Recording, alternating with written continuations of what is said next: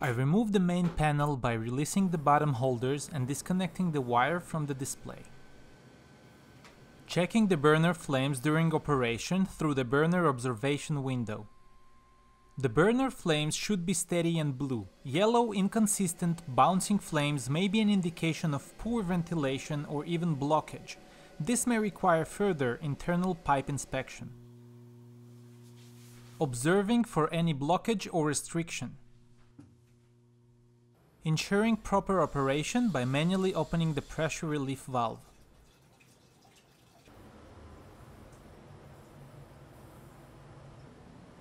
Shutting off the cold water valve and cleaning the water filter with cold water and toothbrush. It requires replacement if it's damaged.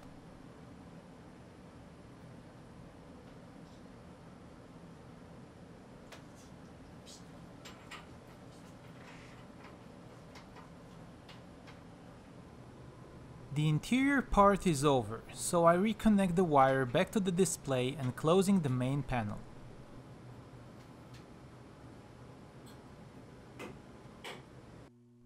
That's the diagram from the installation guide.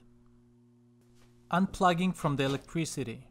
Shutting off the cold and hot valves and relieved pressure from the system by opening a hot water valve in a faucet connecting line A from the inlet of the water heater to the pump. Wrapping the water heater with a cloth that I use as a water filter, then placing both into the bucket. Connecting line B from the water heater outlet to the bucket.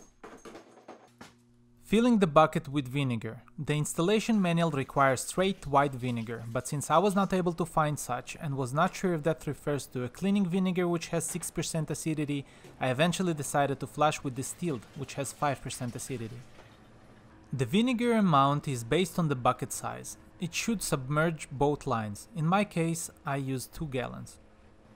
Once the vinegar coming from line B came out clean, I stopped. This took around 8 minutes.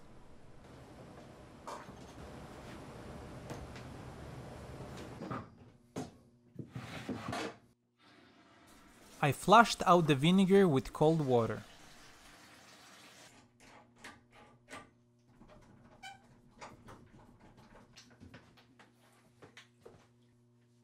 Turning the system, the hot and cold valves on.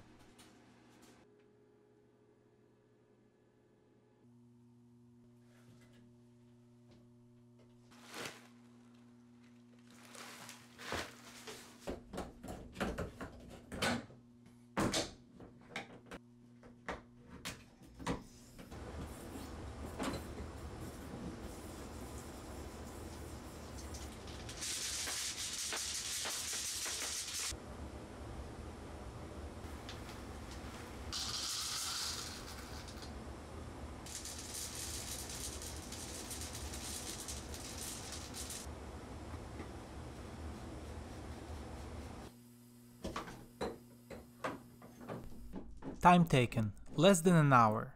Price for the materials, around 50 bucks. Price for tools and materials, around 170. Thanks for watching.